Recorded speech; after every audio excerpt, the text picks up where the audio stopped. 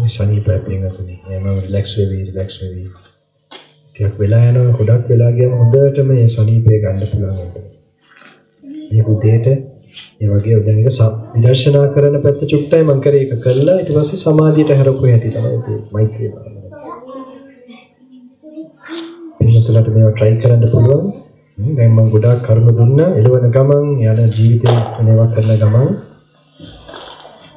තව එකක් තමයි මේවා හොඳට තව තේරුමක් ගන්න අඩුම ගානේ සෝවාන්වත් වෙන්න පින්වතුනි මගේ YouTube මේවා ටික බලන්න වෙනවා ඔක්කොම. කවුරුද ඔක්කොම වගේ බැලුවේ පින්වතුනි? කීපයක් හරි බලපු කට්ටිය ඉන්නවද? අනිත් අයටත් ඔක්කොම බලන්න වෙනවා පින්වත්. ඒතකොට අනිවාර්යයෙන්ම සෝවාන් වගේවත් වෙන්න පුළුවන්. එහෙමයි නේද පින්වතුනි? එහෙමද? සෝවාන් වෙන්න පින්වතුනි අඩුම ගානේ සෝවාන් වෙච්ච කෙනෙක් තමයි කියපු දෙයක් කරොත් තමයි වෙන්න ඉඩ තියෙන්නේ. ඒ ස්වයං වහන්සේ සෝවාන් වෙලා කියලා හිතන්න පුළුවන්ද? එක්ක ඔක්ක මූණ ෂයින් වෙනවා කියලා හරි කවුද දන්න නිවිය ගාගෙන ආවද කියලා. පින්වතුනි අපිට තාමනේ හිතක්වත් බලන්න බෑ අනිත් කෙනෙක්ගේ. ඉතින් මම මේක කිව්වේ නෑ සෝවන් වෙන්න කරුණු හතරක් බලපානවා. ස- සත්පුරුෂ සංසේවෝ සද්ධම්ම සවන යෝනිසෝ මනසිකාර ධම්මාන ධම්මපටිපatti. මේ සත්පුරුෂය කියන්නේ අඳුම ගානේ සෝවන් වෙච්ච කෙනෙක්. ඉතින් ඒක අපි දන්නේ නැහැ පින්වතුනි. හැබැයි බුදුහාඳුර දුන්න සූත්‍රවල අන්තිම පරිනිර්වාණ සූත්‍රයේ මෙහි රහතන් වහන්සේ කෙනෙක් ඉන්නවා කිව්වත් අරේ ඉන්නවා කිව්වත් මේ වගේ මාර්ගඵල ලැබපු කෙනෙක් ඉන්නවා කිව්වත් එයාට ඕක කියන්න එපා නෑ කියන්න එපා. එයා කියන වචන මගේ ධර්ම විනයත් එක්ක කලපන්න කියලා. මම නැති වුණාම ගුරුවරයා නැති වුණා කියලා හිතන්න එපා. මගේ ධර්ම විනය ඔයගලගේ ගුරුවරයා ධර්ම විනය කියන්නේ මේ දේශනා කරන බුද්ධ වචනේ. දැන් ඉංග්‍රීසි ට්‍රාන්ස්ලේෂන්ස් හරි පැහැදිලි. word of the බුද්ධ තියෙන ඥානති ලෝක ස්වාමීන් වහන්සේගේ මජ්ක්‍ධිම නිකායේ තියෙනවා සංයුත නිකායේ තියෙනවා. ඒවා නිකායක ලොකු පොත් තුනකට පිටුයි පිටුවයි දෙකයි පදයක් ඇති වෙයි Tamanට මේ ඉන්සයිට් එක එන්නේ. දැන් මම පොඩි කෑල්ලක් කරන්නේ මේ මේ කන්ටෙම්ප්ලේට් කරන එක චූටියට කරේ. මේක ටිකක් දිගට දිගට හරි සනීපයි. කෙලින්ම බුදුහාඳුරේ කියපු එක එයා බුදුහාඳුරෙන් ඉන්ස්ට්‍රක්ෂන්ස් ලැබෙනවා. මේක ඇඳගාව හරි තියාගෙන රස්සාව කරන තැනක හරි එහෙම චුට්ටක් පොඩි පොතක් කරන් කෑල්ලක් ෆොටෝකෝපි කරන් හරි මේක ලොකු තමන්ගේ ජීවිතේ පරිපූර්ණයි එතකොට හ්ම්. මේක මම රෙකමෙන්ඩ් කරනවා පින්වතුන්ලට මගේ YouTube ඒවා අහලා නම් නෙමෙයි ඒක මොනාරි ඉන්ස්පිරේෂන් එකක් ලැබෙන එකට මොනාරි ගත්තට කමක් නැහැ හැබැයි ඒකේ කරුණු කියන එක ප්‍රධාන එක තමයි බුද්ධ වචනේ වෙනම ඉන්ඩිපෙන්ඩන්ට්ලි කොයි කොයි හාමුදුර කෙනෙකුටවත් කොයි දෙයකටවත් බැඳෙන්නේ නැතුව භාග්‍යවතුන් වහන්සේට ඒ ද- ධර්මයට ඒ ධර්මයට ඒ විදියටම ගන්න ක්‍රමයකට තමන් කරන්නත් ඕනේ. මමට අර බුදුහාමුදුරට වඩා මගේ මේක ඉන්ට්‍රස්ටිං වෙන්න පුළුවන් මොකද මම මේ කාලේ කෙනෙක්.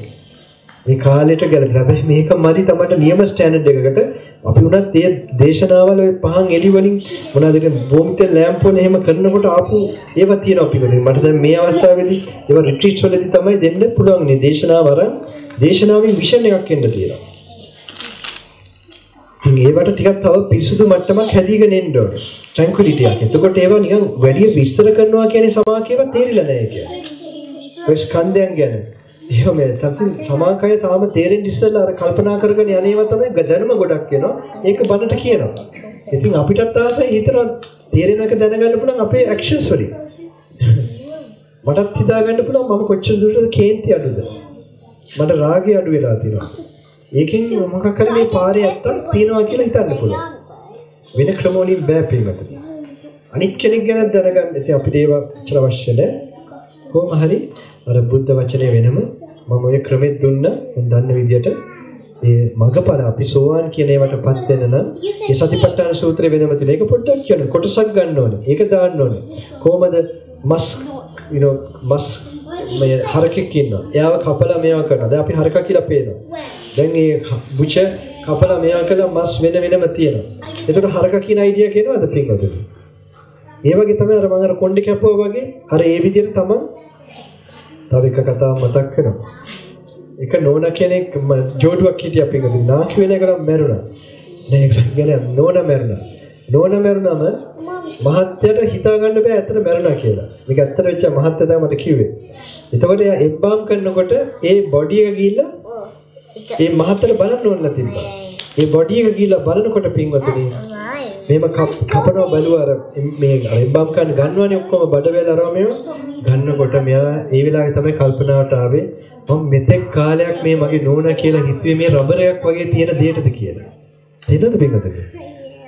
ඉතින් එයා ඒ වෙලාවේ අදහසක් ආවලු අනිත් තාත්තෙන් නම් මම කවදාකවත් බඳින්නේ නෑ කියලා. අඩු ගානේ ඔක එම හරි අදහසක් ඒ අර ඉමෝෂන් ඉමෝෂනලි එක ආවේ.